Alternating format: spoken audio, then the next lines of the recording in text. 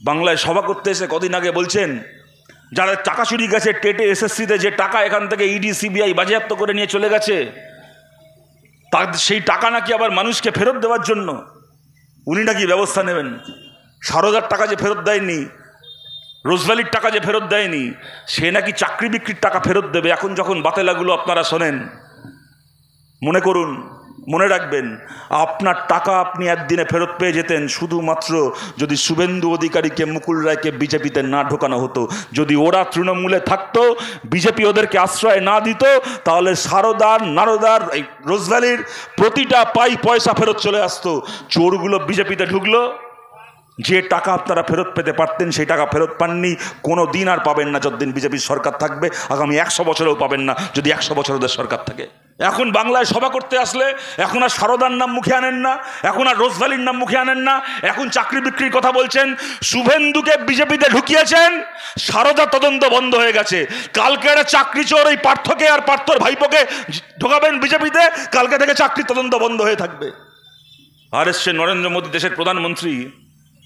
বাংলায় সভা করতে এসে কদিন আগে বলছেন, বাংলায় গুন্ডারা শেষ করবেন, বাংলায় নাকি যারা টাকা চুরি গেছে, টেটে, এসএসসিতে যে টাকা এখান থেকে ইডি সিবিআই বাজেয়াপ্ত করে নিয়ে চলে গেছে, তার সেই টাকা নাকি আবার মানুষকে ফেরত দেওয়ার জন্য?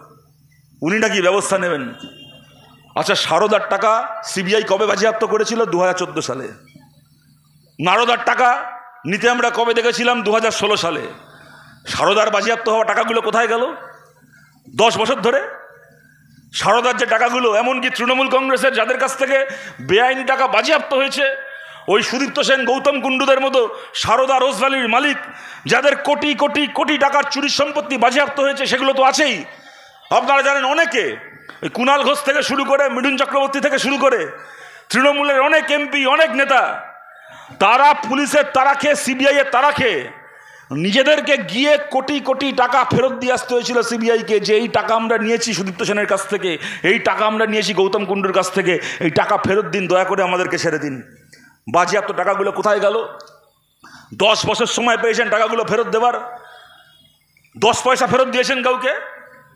এখন বাংলায় সভা করতে আসলে, এখন আর সারদার নাম মুখে আনেন না, এখন আর রোজভ্যালির নাম মুখে আনেন না, এখন চাকরি বিক্রির কথা বলছেন, শুভেন্দুকে বিজেপিতে ঢুকিয়েছেন, সারদা তদন্ত বন্ধ হয়ে গেছে। কালকে একটা চাকরি চোর এই পার্থকে আর পার্থর ভাইপোকে ঢোকাবেন বিজেপিতে, কালকে থেকে চাকরি তদন্ত বন্ধ হয়ে থাকবে। এই এক সার্কাস আমরা দেখব দাঁড়িয়ে দাঁড়িয়ে। বলে, বাংলা থেকে আমাদেরকে বিয়াল্লিশে বিয়াল্লিশটা এমপি দিন, তাহলে আমরা তৃণমূলের চোরেদেরকে জেলে ঢোকাবো। আরে চোরদেরকে জেলে ঢোকাতে কটা এমপি লাগে রে ভাই? ভারতের সরকার তৈরি করতে দুশো বাহাত্তর জন এমপি লাগে, দুশো তিয়াত্তর জন এমপির সমর্থন লাগে। বিজেপির একা তিনশো তিনজন এমপি ছিল। তিনশো তিনজন এমপিকে নিয়ে আপনি যে কাজ করতে পারেননি, পাঁচটা বাড়তি এমপি পেলে আপনি কি কাজটা করবেন? কি সুযোগ ছিল না বলুন তো এদের হাতে? আজকে আমরা ভোটে হেরে গেছি দু হাজার এগারোয় আমরা হেরে গেছি, তারপরে মার খেয়েছি। আমাদের একের পর এক এই গোটা পশ্চিম মেদিনীপুর জেলায় এমন একটা পাড়া নেই, যে পাড়ায় আমাদের কোনো না কোনো কমরেডের নাম লেখা একটা না একটা শহীদ বেদি পাওয়া যাবে। পার্টি অফিস ভাঙচুর হয়েছে, দিনের পর দিন আমাদের কমরেডরা ঘর ছাড়া হয়েছে, দিনের পর দিন মিথ্যে মামলায় জেল খেটেছে। আমাদের কোনো কমরেড কমিউনিস্ট পার্টি করে বলে তার চোখের সামনে তার মেয়েকে তুলে নিয়ে গিয়ে ধর্ষণ করা হয়েছে। এমন ঘটনা ঘটেছে এই জেলাতে। সেই অবস্থায় দাঁড়িয়ে আমরা লড়াই করেছি তৃণমূলের বিরুদ্ধে। ভালো হতো যদি সেদিন সারদার চোরগুলোকে ল্যাম্পপোস্টে বেঁধে ওদের কাছ থেকে টাকা উসুল করতে পারতাম, ভালো হতো। সেই দিন ওটা করতে পারিনি, আমরা ভোটে হেরেছিলাম।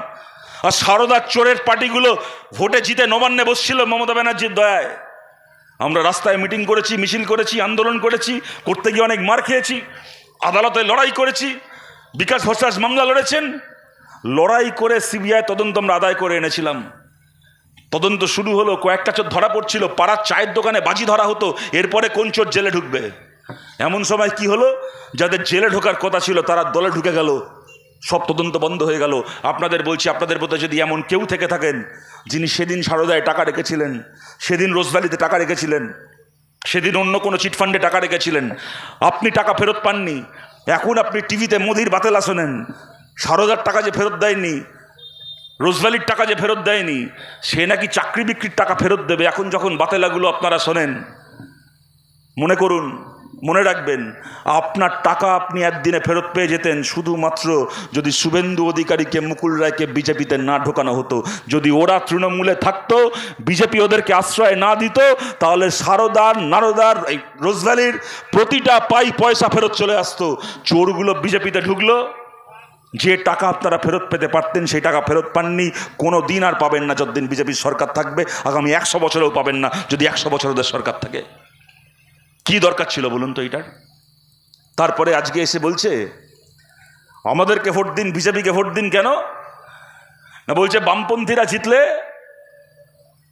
ওরা কয়েকটা আসন জিতবে, ওরা গিয়ে ইন্ডিয়া জোটকে সমর্থন করবে, জোট সরকার তৈরি হবে। আমরা বিজেপি, আমরা জিতলে আমাদের এক পার্টির সরকার তৈরি হবে। এক পার্টির সরকার শক্তিশালী সরকার হবে। জোট সরকার দুর্বল সরকার হবে। আপনাদের বলছি দু হাজার চার সালে আমরা জোট সরকার করেছিলাম, এখান থেকে কমরেড গুরুদাস দাসগুপ্তকে আপনারা জিতিয়ে পাঠিয়েছিলেন। বাংলা থেকে পঁয়ত্রিশ জন, গোটা ভারত থেকে একষট্টি জন বাম বামপন্থী এমপি তারা গেছিলেন দিল্লিতে। কংগ্রেসকে সমর্থন করেছিলাম, প্রথম ইউপিএ সরকার জোট সরকার তৈরি হয়েছিল। ওরা বলে, বিজেপি বলে, জোট সরকার নাকি দুর্বল সরকার? সেই দিন ওই জোট সরকার ভারতকে একশো দিনের কাজ দিয়েছিল। জোট সরকার ভারতকে রাইট টু এডুকেশন বিনা পয়সায় পড়াশুনো করার অধিকার, যা বাংলায় কমরেড জ্যোতি বসু, বামফ্রন্ট সরকার সাতাত্তরে এসে দিয়েছিলেন। দু চারের পরে আমাদের দাবি মেনে গোটা দেশে রাইট টু এডুকেশন বারো ক্লাস পর্যন্ত বিনা পয়সায় শিক্ষার ব্যবস্থা জোট সরকার দিয়েছিল এই দেশকে। জোট সরকার ভারতকে রাইট টু ইনফরমেশন তথ্যের অধিকার জানার আইন দিয়েছিল। বড় বড় দুর্নীতি ছেড়ে দিন। বিজেপির বড় বড় কোটি কোটি, হাজার কোটি টাকার দুর্নীতি ছেড়ে দিন। এমনকি আজকে একটা পঞ্চায়েতে যদি তৃণমূল কংগ্রেসের দশ টাকারও চুরি ধরা পড়ে ধরা পড়ে তার কারণটা হচ্ছে সেই দিন আমাদের চালু করা রাইট টু ইনফরমেশান আছে বলে, তথ্যের অধিকার আইন আছে বলে। আজকে পঞ্চায়েতে চিঠি লিখলে, বিডিওকে চিঠি লিখলে, ডিএম অফিসে চিঠি লিখলে এখন আমরা হিসেব বার করে আনতে পারি। কোথায় ছ ফুট রাস্তার টাকা স্যাংশন হয়ে দু ফুট রাস্তা তৈরি হয়েছে, চার ফুট রাস্তার টাকা পঞ্চায়েত মেম্বার খেয়ে গেছে। কোথায় পাঁচটা পুকুর কাটার টাকা স্যাংশন হয়েছিল, তিনটা পুকুর কাটা হয়েছে, দুটো পুকুরের টাকা ওদের পকেটে ঢুকেছে। আজ অবধি যদি তৃণমূলের চুরির তথ্য বেরোয় বেরোয়, তার কারণটা হচ্ছে সেই দিন পার্লামেন্টে জোট সরকার রাইট টু ইনফরমেশন চালু করেছিল বলে। ওই জোট সরকার আদিবাসী মানুষকে অরণ্যের অধিকার দিয়েছিল। আদিবাসী মানুষের মাটির ওপর অধিকার, নিজের মাটির ওপর অধিকার, অরণ্যের অধিকার দিয়েছিল আইন করে জোট সরকার ইউপিএ সরকার। আর মোদির এক পার্টির সরকার কি দিল? মোদির এক পার্টির সরকার দিল বারোশো টাকার রান্নার গ্যাসের সিলিন্ডার, একশো পনেরো টাকার পেট্রোল, একশো টাকা দামের ডিজেল, দুশো টাকা দামের কেরোসিন তেল, দুশো টাকা দামের সর্ষের তেল। এসে আবার বলছে কিবার চারশো বার। চারশো পার মানে বোঝেন তো? চারশো পার মানে এর আগে কেরোসিন তেলকে দুশো করেছে, এবার আসলে চারশো পার করে দেবে। এর আগে সর্ষের তেলকে দুশো টাকা কেজি করেছে, এবার আসলে চারশো টাকা পার করে দেবে, মোদির চারশো পার সে বলছে নাকি ওরা শক্তিশালী সরকার তৈরি করবে। এইটা শক্তিশালী সরকারের নমুনা। কি দরকার ছিল বলুন তো? একার ক্ষমতায় দেশ চালাচ্ছে। মমতা বন্দ্যোপাধ্যায়কে দুয়ানা পাত্তা দেওয়ার দরকার নেই। মমতা বন্দ্যোপাধ্যায় চেষ্টা করলেও ওই সরকার ফেলতে পারতো না, কেউ ফেলতে পারতো না। বিজেপি একার ক্ষমতায় দেশ চালাচ্ছে। তারপরও কেন ধরতে পারল না পিসিকে, ভাইপোকে? তারপরে কেন ধরতে পারল না? আজকে হেমন্ত সোরেন, একজন মুখ্যমন্ত্রী, দেশের একমাত্র আদিবাসী মুখ্যমন্ত্রী। তার কাছ থেকে কত টাকা পাওয়া গেছে? না, তার দুটো বাড়িতে রেড করে, ঝাড়খণ্ডের বাড়ি, দিল্লির বাড়ি। দুটো বাড়ি রেড করে একটা রাজ্যের মুখ্যমন্ত্রী, একটা দলের প্রধান।